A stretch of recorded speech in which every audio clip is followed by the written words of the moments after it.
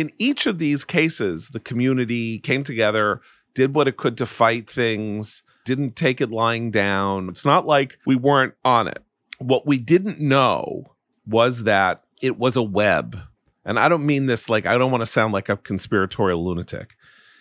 The minute that October 7th happened, groups that had been training in some sense for 20 years for a moment at which they could go at Israel's existence and go at the Jews in America who, according to them, are no different from Israel and the Israelis. They swung into action simultaneously and on all fronts. And that is what knocked us all sideways. That's the new thing. It's not just that people are getting injured and killed more, that's terrible. It's that Jews were killed in the most horrible ways. 240 people were taken hostage. And the response in the United States on the part of radical leftists was to say the Jews deserved it.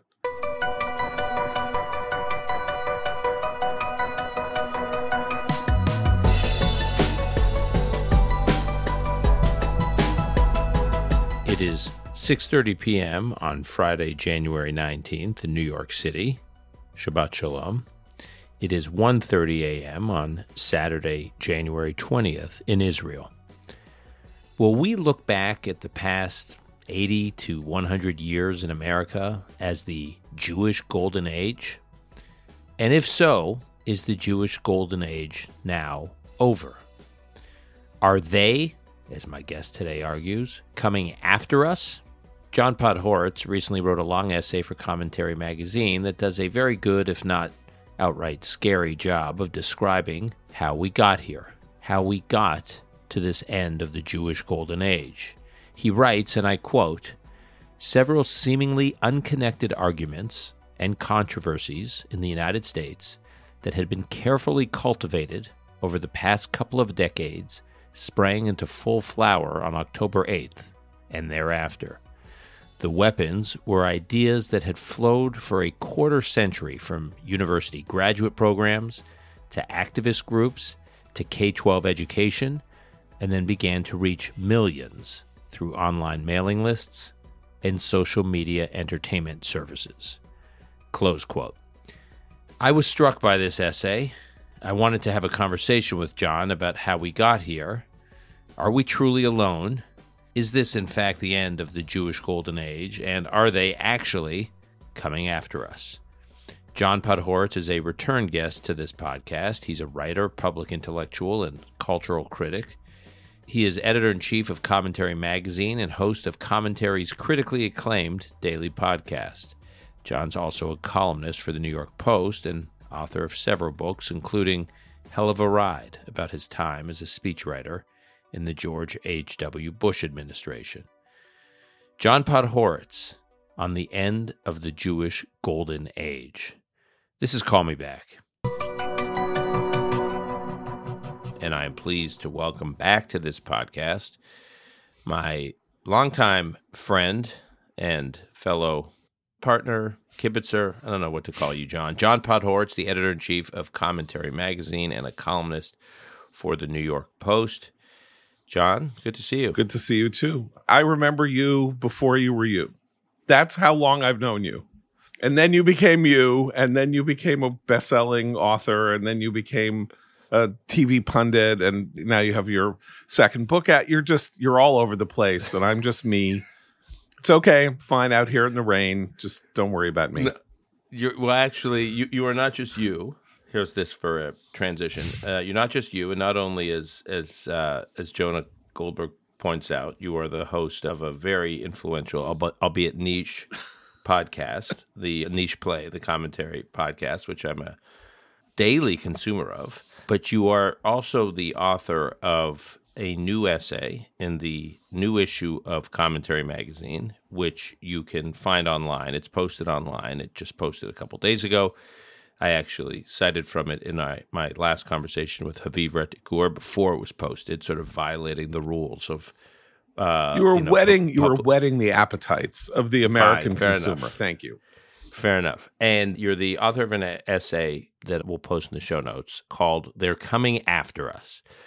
And when you first sent me the draft of it, John, it's a cliche to say this, but it really did shake me to the core. What the piece does is it lays out why Israelis are so incredibly unsettled during this moment in a way that they have not been unsettled during other periods of feeling very unsettled. That this moment for Israelis is extremely different, and why those of us who care about Israel are extremely unsettled, if not shocked, in a way we've never been before, out of concern for friends and family in Israel and for Israelis generally. But that's not what I want to focus on today with you. I want to focus on the other part of the essay. I talked a little bit about that first track with Haviv the other day, but the other part of the essay, which I didn't talk about with Haviv, which I wanted to talk about with you, is the part you focus on about what's happening here, what's happening in the United States, what's happening also in places like the UK and Canada, and really throughout the West in terms of this.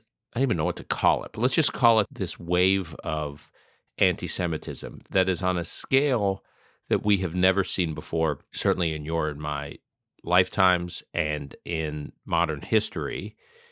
And on the one hand, we haven't seen something like this before. On the other hand, when I read this piece, why it was so hard to read is because I felt like the signs were there.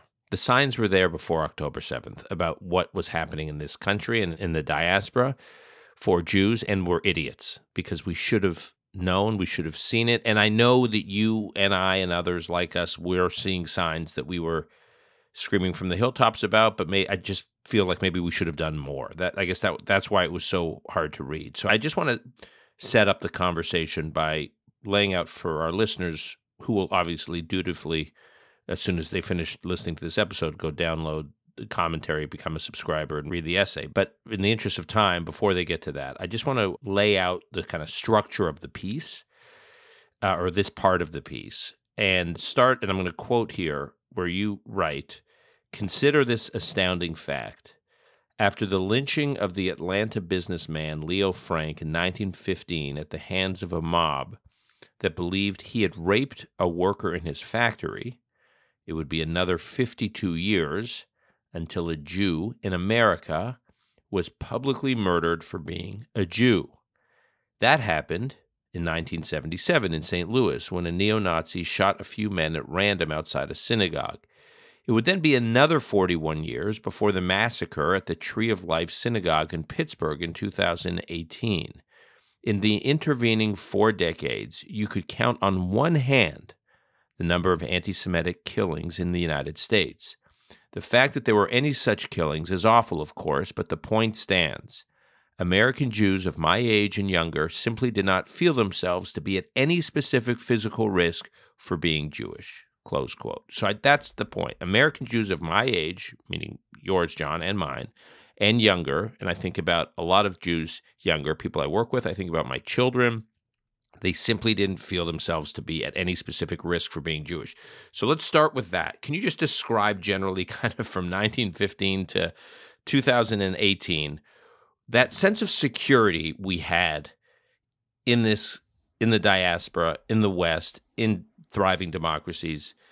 The sense of security we had about being Jewish. Yeah, I mean, I'm not willing to sort of eh, you know extrapolate this necessarily outside the United States to other other countries, but in in the United States, once you were here, and of course there are issues of immigration restriction after 1924 that you know may have contributed to the number of people who were murdered in the Holocaust and all of that. But once you were here as a Jew, you faced standard issue ethnic discrimination not wildly dissimilar from the discrimination against other ethnic groups, meaning you know, Italians were thought of in this way, Jews were thought of in another way. Jews couldn't get jobs in white shoe law firms, they couldn't get jobs in Wall Street stock brokerages, they couldn't get tenured uh, positions in the professoriate.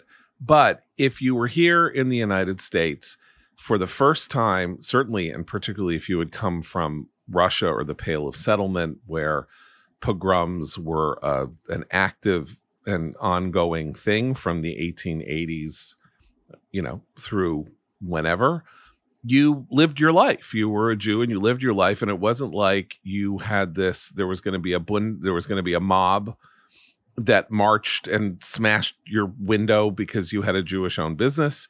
You went to school, you got a job, you went into the military, you lived a fully American life, except in the upper echelons of the yeah, I don't know what you call it, sort of the white shoe upper echelons in America where there were barriers and gates put up. And so the risk to any Jewish person in America from 1915 onward was really not all that different from the risk to most people. I know kids grew up in small towns if they were Jewish and someone said, "Oh, you have horns," or you know, called called them names or whatever. My father, Norm Podhoretz, famously wrote an essay called "My Negro, Negro Problem and Ours," where he gets beat up on the streets as a six year old by another kid. But these weren't anti-Semitic crimes, and in the classic sense, the things that Jews had been subjected to for two millennia. So we have Leo Frank in 1915. We have the shooting at the St. Louis Synagogue in 1977. We have the murder of the uh, disc jockey uh, Alan Berg in Denver in 1984.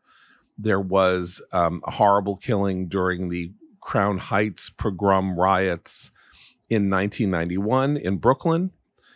And that's pretty much it until 2018 when Robert Bowers came down from wherever, from whatever hellhole he was in and shot up the Tree of Life Synagogue in Pittsburgh.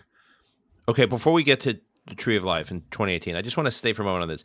You would hear these stories. I hear these stories. Jews couldn't get, there are certain law firms. Yeah that Jews couldn't get jobs in. There were like Jewish law firms, and then there were law firms that won, like these quote unquote WASP law firms that people knew, Jews knew, oh, don't bother applying, you can get a job there.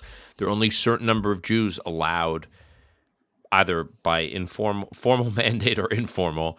Uh, you know, could get Jew, only a certain number of Jews could be admitted to uh, certain Ivy League schools. There was the the whole thing about country clubs, mm-hmm. right? Even today, you hear about certain yeah. country clubs. There are no Jews. So that that was a lot of what we were talking about, right? When we were when that we was hear those stories exclusively what the American Jewish leadership was concerned with was ac- Jewish access to all corners of American society.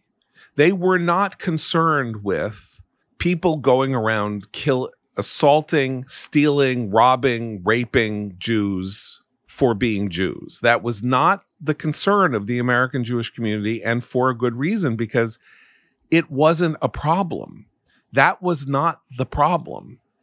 The problem was institutional access. The reason that the Tree of Life Synagogue represents a hinge moment here is that, and remember, it came after the Charlottesville March riot. Jews will not replace right, us. where people were chanting, Jews will not replace us, after the 2015 explosion of anti Semitic content on social media, somewhat connected to the rise of Donald Trump, where people like me, to a very little extent, Ben Shapiro, getting hundreds of thousands of, you know, go into an oven, people like you belong in an oven, you know, I'm going to shoot your children. Uh, various people in media starting to get messages and, te- and things like that of a sort that no one had ever seen before. And then the violence started. So after Tree of Life, two different synagogues, right? One Chabad in Poway, California, one in Texas. Uh, there was shooting at Poway. There was a, somebody who invaded the synagogue in Texas. A Jewish a kosher supermarket in Paterson, New Jersey, was shot up. A guy, a home in Monsey, New York, which is sort of like the capital of the ultra Orthodox Jews in New York State, uh, was invaded by a guy with a machete and then things started to change. And then visible Jews, by which I mean a Jew with a yarmulke, a Jew with payas, you know, ear uh, forelocks, a Jew with tzitzis, the ritual fringes that hang out of uh, uh, hang outside your pants, uh, black hats, suits like that. We're getting assaulted. So I just yeah. to, for our listeners who are not as familiar, these are all to those who aren't Jewish. When you see the people wearing what John is describing, it's a tell that not only are they Jewish, it's a very visible tell that they are Orthodox right. Jews yeah. or ultra Orthodox Jews. And so what John is saying is if one was out kind of Jew hunting. Uh, These were obvious, very publicly identifying, And there were tragically. yeah, and there were dozens of assaults on such people, particularly in Brooklyn, you know, which were called knockout attacks, where someone's walking down the street, someone runs up behind him and punches him in the head and knocks him down. And we know this because people took video of it. These attacks are on, you know, social media. Right. So we started to see these videos all over social media, all over YouTube, Right. because you'd see these like I- either people would film it on their phones, or you'd see like, like the CCTV. Yeah. You'd see security camera footage.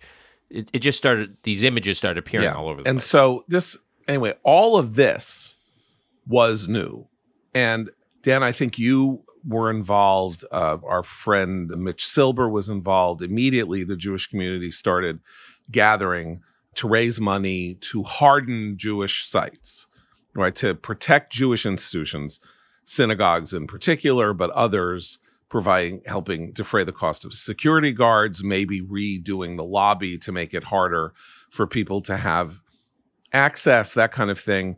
So there was an immediate response. People did respond. And i would say that you know what changed after october 7th if i can just Okay, before yeah. before we get to October seventh, I want to say I, it's important to point out, and, and you touch on this in your piece, even at this moment, because I when I read your piece, I was trying to go back and think, like in my mind, what was I doing around then, 2018, 2019, 2020, and public polling at the time still pointed to a country, the United States, that was extremely pro-Israel, extremely you know philo-Semitic, you know, very supportive of Jews. So there were these two realities. One reality was more and more violence against Jews was becoming normal, like just a normal fact of life. You'd open the New York Post, you'd see another story about a Jew who was being assaulted. At the same time, there was no sense in public polling or in any kind of survey research that American attitudes towards Jews had changed. Right. if you were not a visible Jew of the sort that I described, you sort Okay. of didn't feel like you were at any physical risk like that. And and you probably weren't. Like I didn't walk around New York City worried that someone was going to come up and punch me in the side of the head. Because I don't wear a kippah, you know, I don't wear a long black coat, I don't wear a big black hat. Nobody would know. And so even somebody like me, and of course, my job at Commentary Magazine is to watch very closely the behavior of anti Semites and the condition of anti Semitism all over the place. And I didn't feel at risk. Now, Okay. here's the important thing because I'm talking about 2018. This is physical risk for being a Jew, right? Okay. If you go back 20 years or 15 years back from 2018, and I can chart this in the pages of my magazine and on our blog and that sort of thing, you are seeing disparate elements in a rise of elite opinion and some populist opinion that is either implicitly or pretty explicitly anti Semitic. And there are various categories of this that the Jewish community did respond to, but did not connect the dots to say there is a kind of network or net being cast to kind of like create a quilt of anti Semitism. Okay. Can you can Yeah. you talk about those dots? So let's talk about them. One, a lot of it is on campus, right? So first you have the rise of the theory of intersectionality, first promulgated uh, in the late 80s by Kimberlé Crenshaw, a law professor, according to which white people are colonial oppressors and that the oppressor is all the same. And so the oppressor is not just America or this or that, it's a kind of network against people of color. And Jews are part of that network. Now, this was a revolutionary idea because if you had told my grandfather, who was a milkman in Brooklyn, that he was the same color as John D. Rockefeller, he would have thought you were insane. He was a poor immigrant Jew and he was not white. I mean, white whiteness wasn't a thing as a sort of con- conceptual framework like this at that moment, but he had no commonality with John D. Rockefeller, who was like in a different species practically from him. But according to the theory of intersectionality, whites are oppressors, Jews are white, Jews are therefore oppressors. And this was a new, and remember, Jews make up 2% of the population of the United States. Uh, this is a very was this is a very startling intellectual development that you could treat this tiny minority, arguably the most oppressed people in the history of the planet, Certainly, the only people that have experienced either a genocide, attempts at genocide, a persecution in the form of mass violence every single century. Every single set for every, 20 centuries, right? I mean, so right, right. so the idea that Jews are part of the oppressor regime was new and was attacked and people said it was terrible and all of that and yet it still gained purchase on the campuses. From there, we get to the movement on campuses, which really start on campuses, to BDS. So boycott, divest, and sanction Israel for its failure to create a Palestinian state or to be at war with Palestinians, however you want to slice it.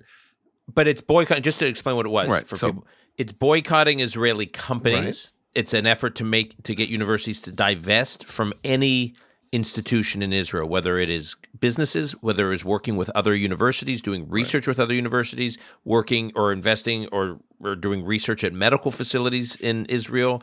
This then spread out to the creative arts, no work with creative artists in Israel, even if those creative artists in Israel were as critical of right. Israeli government policy as those activists advocating for it on yeah. these U.S. college campuses. And sanction Israel in international organizations and deny Israel right to, you know, international banking rights and things like that. So that's BDS and student activists with the leadership of some radical professors really pushed this very hard in the late decade of the late first decade of the 21st century. And there was a combined very serious response from the Jewish community from Hillel, uh, from which is uh, you know sort of the nationwide network of Jewish institutions on campus to help people practice their religions on campus. So we had BDS, we had intersectionality, and then we had I don't know the rise of the Jewish lobby attack in 2006, John Mearsheimer and Stephen Walt of Harvard University published a book called The Israel Lobby.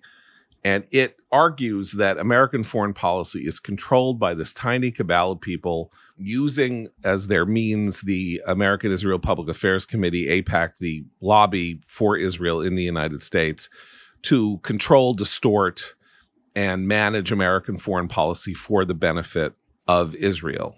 And again, this idea was very fervently opposed by the organized Jewish community, by the heads of the American Jewish Committee, the head of the Anti Defamation League, and all of that. And then something interesting happened, which is that another organization was incepted out of nowhere to defend implicitly attacks on Israel with a Jewish coloration, and that was J Street, which was created in 2007. And it, in turn, gave Barack Obama an anti the first really anti-Israel president since I mean I guess you could say George H.W. Bush was not friendly to Israel, but Barack Obama, the first ideologically anti-Israel president from my generation, he was born the year I was born, 1961, ra- raised sort of in this college campus atmosphere where Israel was, where Israel, support for Israel was viewed as a distortion of Middle Eastern uh, American policy. I, would say, John, that the distinction, I haven't really thought about this until you just mentioned. It, I would say the difference between George H. W. Bush's anti-Israel policies and Barack Obama's was George H. W. Bush's was more of a, at best, just like a realpolitik kind of balancing yeah. of of interests on the one hand, or maybe maybe if you want to go there, at worst, the sort of the country club version of hostility to right. Israel that we talked about earlier Obama's was different. This was like an ideological right.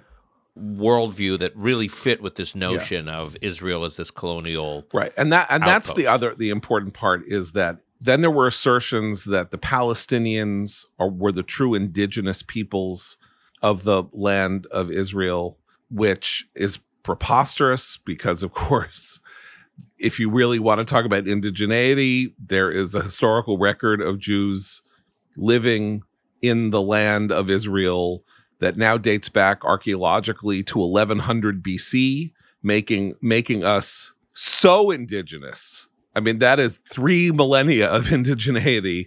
And Jews have lived, by the way, in the area of the land of Israel pretty much for about a century after the Jewish expulsion by the Romans in 135 CE. They started like b- bits and pieces of Jews started coming back and living in you know in in Judea and Samaria and other places and have been there consistently since the third century without let up. So there was this idea that because everybody always wants to parallel everything to American experience, just as American, you know, Native Americans are the indigenous peoples of this land, and and we white oppressors forced them out or took over their lands. So the Jews from elsewhere came into Israel and stole land from the Palestinians.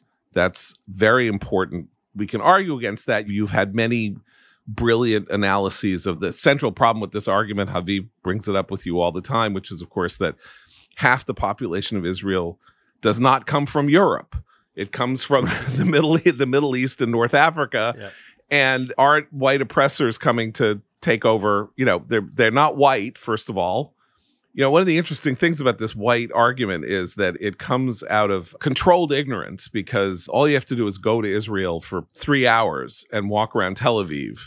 And it is as, you know, if if skin color is your determinant of whether or not someone is white or not, that is not a white country. Right. I mean, Jews from Jews, yeah. from from Iran, Iraq, Morocco, Yemen, Ethiopia, and all right. intermarried, so that you know it's a it's the ultimate melting pot in terms of skin right. color. Anyway, I digress there. So the indigeneity, which says that Jews are interlopers and invaders on somebody else's land, and then of course the idea that Israel is an apartheid state an idea, by the way, that does not deal with Palestinians per se, but Israeli Arabs. The idea being that both Israeli Arabs, Israeli Arab citizens, and and the uh, Palestinians who lived under Israeli occupation, that they were all one people, and that they were Israel had you know two forms of justice and social standing. One was for Jews, and one was for Arabs, and it was an apartheid state. Jimmy Carter of all people, published a book about how Israel was an apartheid state. But that argument, which we don't need to rehearse the objections right. to, was then deepened, and you hear it now every day by the idea that Israel is a genocidal state, that its purpose isn't to manage or humiliate or control or treat Arabs as second class citizens, but to eliminate them from the planet Earth. An argument that is as ludicrous as any argument can be on its face, since the population of Gaza grows and the population of Israeli Arabs grows, this is some genocide. Like we're the worst genociders ever because the people under our genocidal regimes here are growing in number, not shrinking in number. The population of Palestinian Arabs grows five times since Israel's takeover of the territories, the population of Israeli Arab citizens grows exponentially, and Israeli Arabs, Israeli Arab Muslims wind up on the Supreme Court, in the Knesset, as kingmakers in the formation of Israeli governments, in journalism, in in the universities, medic- medicine, in, in, medicine, in the creative arts, so, yeah. some some apartheid state. Yeah, and then of course, finally we get this the mass adoption really in the last three months, but you know, really in the past three years on college campuses and places like that, of the slogan from the river to the sea, Palestine shall be free, which is a call for Israel's destruction. Because of course the river is the Jordan River, which is the easternmost border of the West Bank, to the Mediterranean, which is the westernmost border of Israel, and including Gaza, which is on the Mediterranean. So if Palestine is from the river to the sea, Israel no longer exists. So all of, you take all of these things together and they're all bubbling around in a brew. And then you get some violence and then you get this and then you get that. And all of these things are being fought again by the Jewish community pretty effectively in isolation, each in isolation from the other. What do you mean by each in isolation? I think this is a very mean- important point. You fight BDS by organizing, by helping people make shoot down faculty senate resolutions and calls on, and and you have board members, you have people going to CalPERS, the largest pension fund in America, and saying, "Don't listen to these people. You know, this is not fair." So there, you have that fight against BDS. Then you have the fight against the apartheid state idea or the genocidal state idea. You have fighting against politicians from Rand Paul to the squad. But but your point is left hand wasn't talking to the right hand. People are different groups are working on different tracks. some of these things were kind of amazing. I don't really get into this in the piece, but because Yasser Arafat started the idea that Jews were not indigenous to Israel in his in a conversation at Camp David when he was rejecting the deal to make a Palestinian state. And this idea was In 2000, in 2000. 2000, it's Arafat, Ehud Barak, and Bill Right. Clinton negotiating a last ditch effort by President Clinton to try to get Right. a peace agreement before he left office. And t- uh, just to, Yeah, and Arafat says, and you know, I don't even know why I'm talking to people about Jerusalem. There's no Jewish history in Jerusalem. This is all made up. It's all invented. No one had ever even thought to make such an argument. It's transparently preposterous on its face. The Bible historians know that there were Jews in Israel at the time of the birth of Christ. You know, famously in Rome, there's the Arch of Titus, which depicts the uh, victory over the Jews in Jerusalem. People that we know, our dear friend Roger Hertog, others, immediately swung into action and activated a new and more activist form of archaeology in Israel to establish the Jewish presence in Israel over, you know, in ancient times that has borne unbelievably spectacular fruit. Like I said, like we now have incontrovertible evidence that there were Jews who were themselves self consciously Jewish with coinage and things like that dating back three millennia. So, in each of these cases, the community came together, did what it could to fight things, argued, you know, didn't take it lying down, all of that.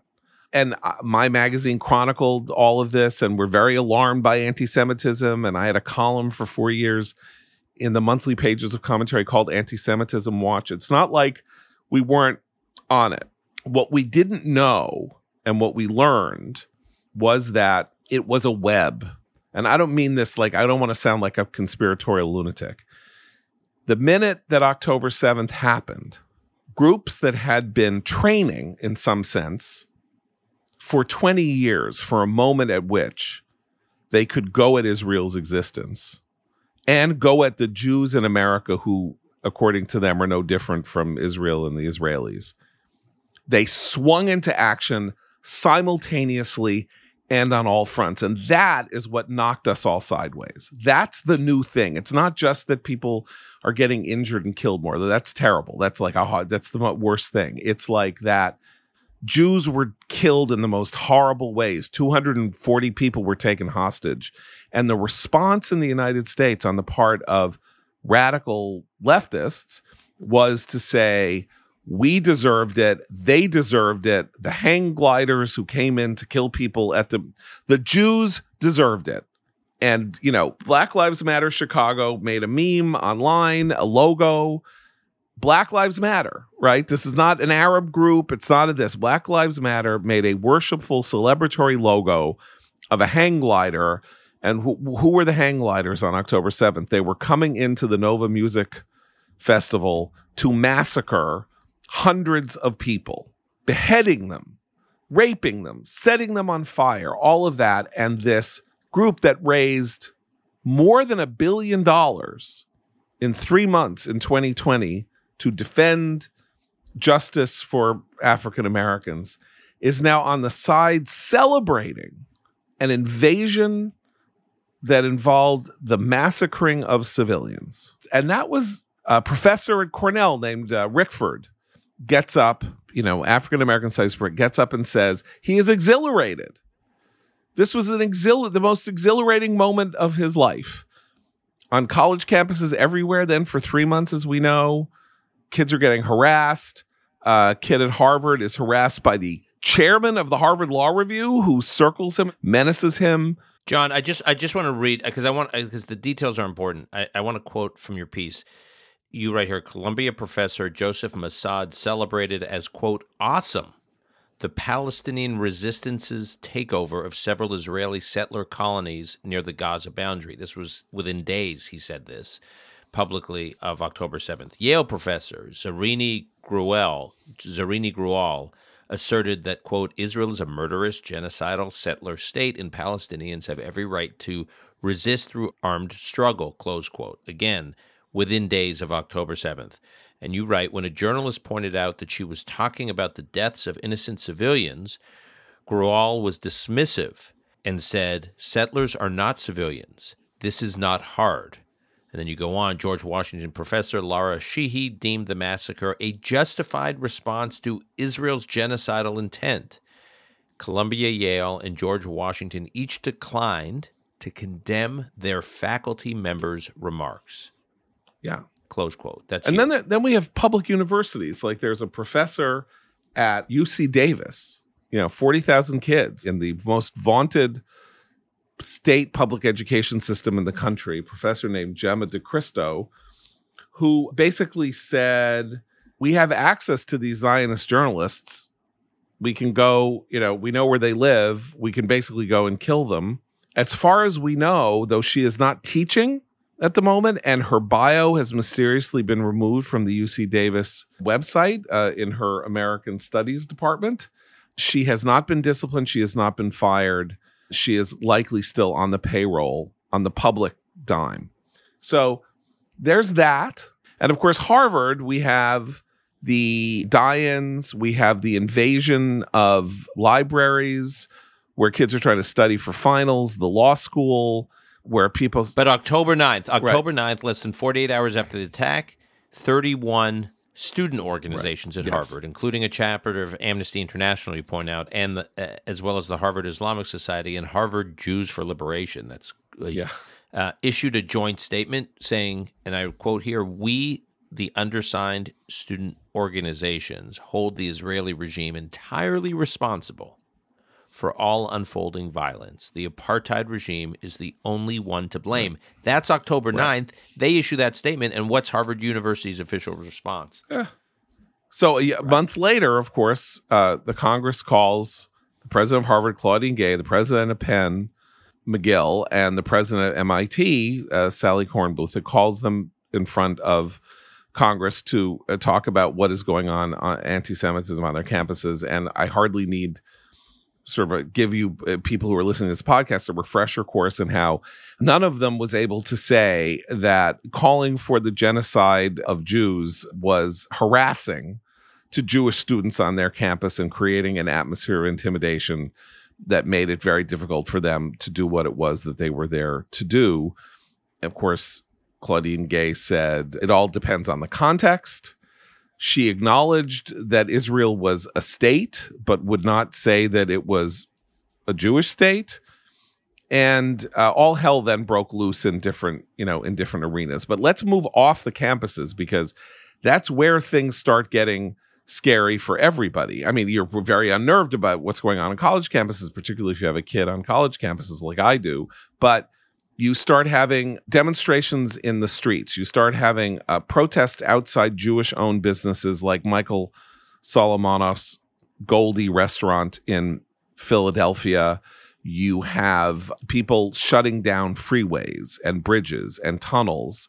I mean, just to give you a comic version of this, and Dan, you know this, like my son had his bar mitzvah on October 28th.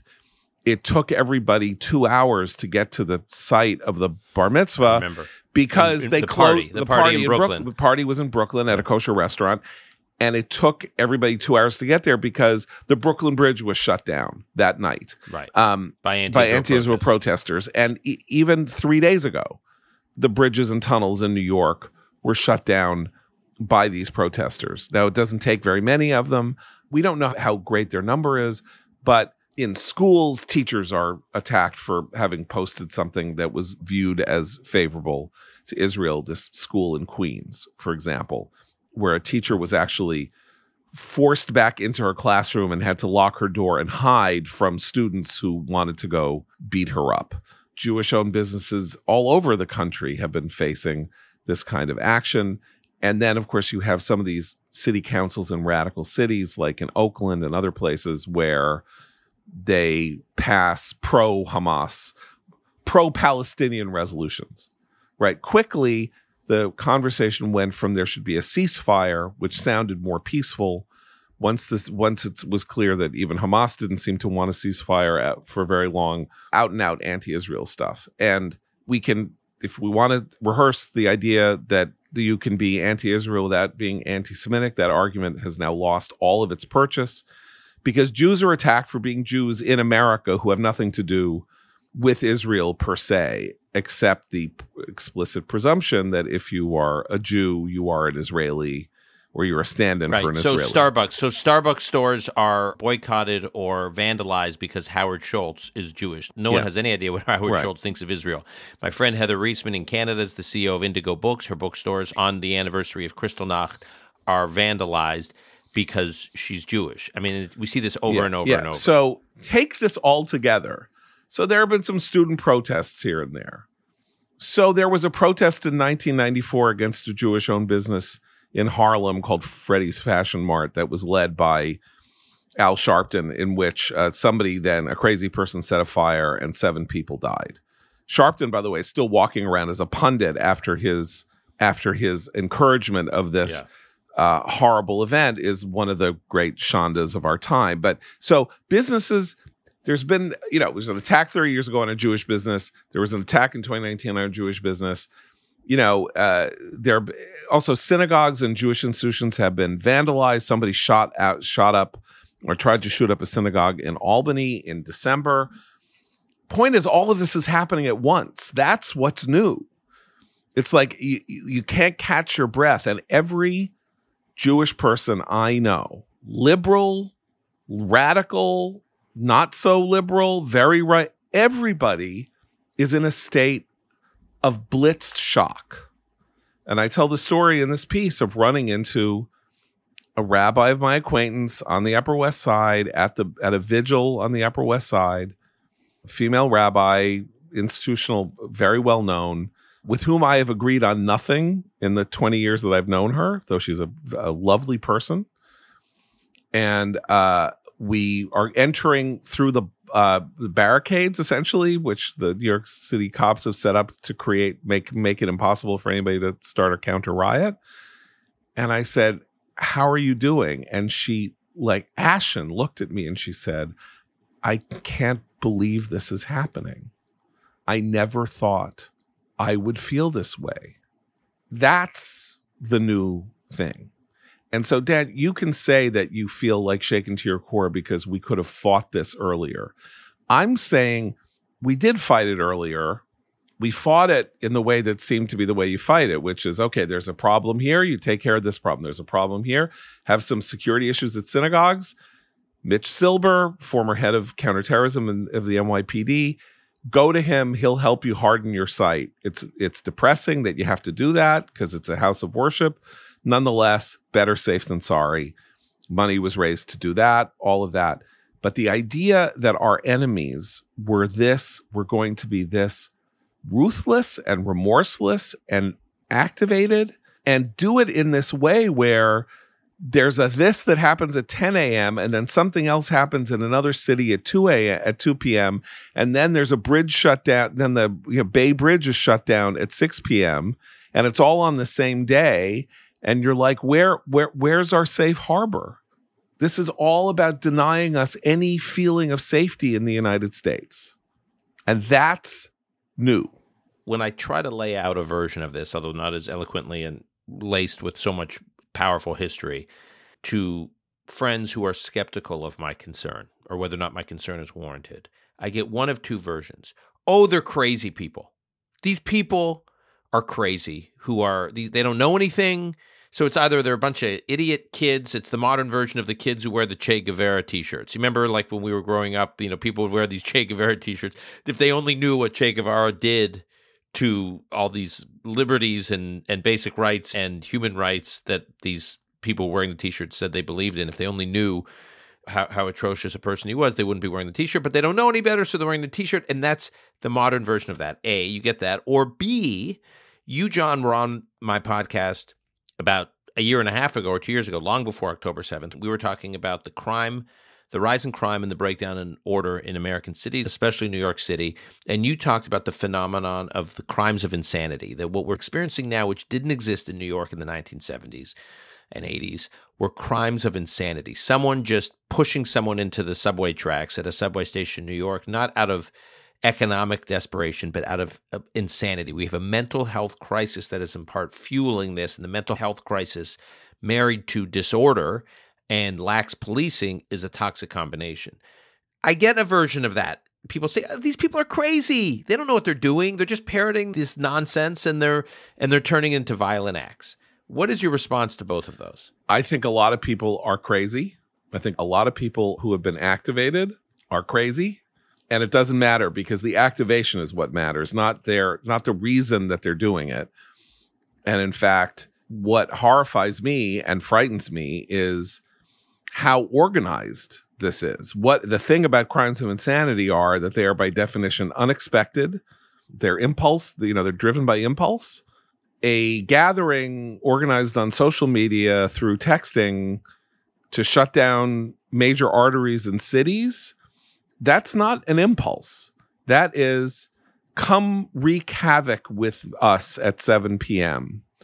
because we are trying to inconvenience the largest number of people in the largest number of ways. Now, we can look at that and say, this is really stupid. All this is going to do is like create support for for the cause you're fighting against. Like it's going to create support for Israel because you people have made it impossible for people to get home in less than 3 hours and they're going to hate you.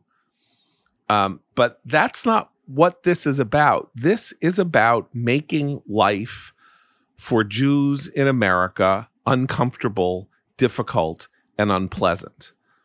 And if there have to be ancillary damage done to everybody else, nobody cares. It doesn't matter. And part of the understanding here has to be that the goals seem crazy, right? The elimination of Israel, that seems crazy. Like the idea that you can sort of drive Americans into supporting Palestinian liberation from the river to the sea may seem crazy, but a lot of things happen over a long period of time. And if you follow my logic that all of this started organically a couple of decades ago, this is the fruition of something. And it's not chaotic, it creates chaos, but its purpose is very organized. And that is we are not going to rest until you cave to us. And what is it about college campuses that makes them such fertile ground for this? Because the authorities do cave to them, have caved to them for decades. Claudine Gay didn't know that she was supposed to say, Oh, gee, I'm sorry, you know, calling for Israel's elimination. That's hostile and creates a hostile environment for Jewish students on campus she didn't know because she's been accepting of ideas like that her entire career. Maybe she's not herself articulated it, but implicitly, this is what people that she knows and helped her get to the top of the greasy pole in academia kind of think. Israel's bad. Israel's oppressing the Palestinians. The Palestinians are like African Americans. Intersectionality theory says Jews are oppressors the way whites are oppressors. So, you know, in context, you got to look at the context because in some contexts, that idea is perfectly defensible to her. It isn't defensible. It's not morally defensible. It's disgusting. And she's, uh, you know, her, what happened there was an outrage, but it was very instructive because the head of the most important, one of the five most important institutions in the United States was unable to condemn anti Semitism in front of the U.S. Congress or condemn genocide, genocide. Uh, support for genocide. I mean, you got to look at that and say something very big is happening here because it was safer for her to talk like that than it was for her to say, well, of course, I condemn anti Semitism on all its horns. And in fact, I'm going to go to Israel tomorrow on a on a flight, and I'm going to tour Kfar Aza, which is like I'm going to go tour one of the one of the uh, kibbutzim that was you know that was destroyed or had so many people killed in solidarity with the people of Israel, which is what you might have expected her to say 20 years ago, or Lawrence Summers when he was president of Harvard 20 years ago might have said. And of course, she couldn't even condemn the calls for genocide. John, I have a lot of friends, as I know you do, who have been very involved with organizations, liberal organizations, center left organizations, or even just mainstream American secular organizations. A lot of friends of mine in Silicon Valley, in the tech community, friends of mine in the LA, in, the, in New York, in the creative arts, a lot of people in kind of established corporate business worlds who have given gobs of philanthropic dollars to all sorts of organizations they thought they were totally aligned with on other issues, which they probably were aligned with on other issues that had nothing to do with, you know, Judaism or Israel political issues, civil rights issues, women's issues, whatever it may be. And the number of them that have said to me since October 7th, wow, like that all these organizations I've been involved with, that I've that they're happily were taking my funding and encourage my leadership and were honoring me at my at, at these galas, don't have my back. They're silent, if not outright critical in this moment.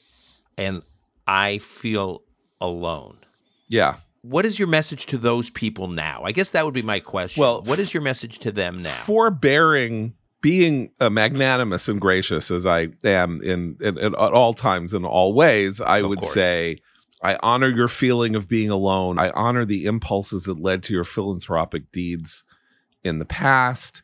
And I'm, I'm deeply sorry that you felt abandoned by these people you thought were your allies. And now, if you're going to do that kind of giving, you now can see why maybe you should look in a different direction and help your own people in the right way. That's so I'm not saying I told you so and saying, you know, again, here's the difference between your saying we didn't do enough. It's like, if you've been reading my magazine for the last 15 years, you would have known perfectly well who your enemies were and that these people were going to turn on you. If you had been reading Tablet, you would know that Black Lives Matter, for some reason, curdle almost instantly into anti Semitism and organized anti Semitism. We can talk about why. That's a conversation for another time. But if you had been paying attention and cared about the right things, and what I mean by the right things is, you know what, Judaism, America, that's all solved. So I can turn to ter- secondary and tertiary issues that are of more importance to me well, okay, so you know what? That was you were wrong. You were wrong to do that. The key role of Jewish people in positions of influence, in my view, in the West and in the world, is first and foremost to protect and defend our people.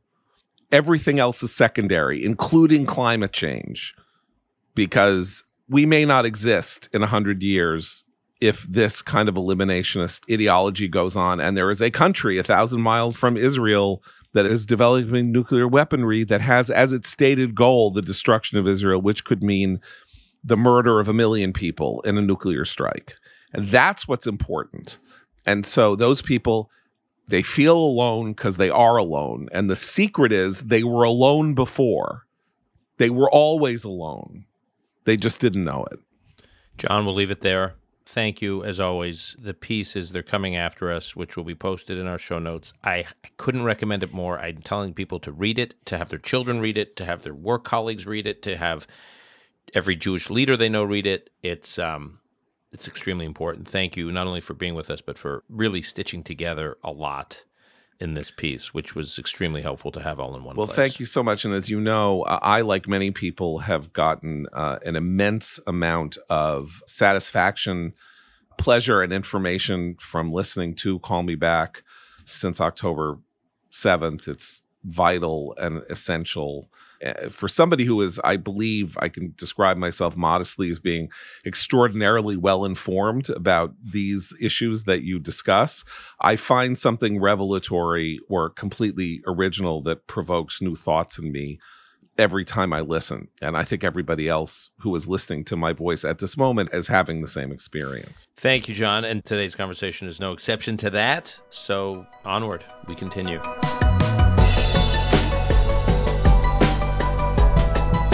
That's our show for today. To keep up with John Podhoretz's work, you can go to commentary.org or on X at commentary. You can also follow John personally on X. That's at jpodhoretz. Trust me, you will want to follow him on X. And we will post the essay we discussed today in the show notes. Call Me Back is produced by Lon Benatar. Until next time, I'm your host, Dan Senor.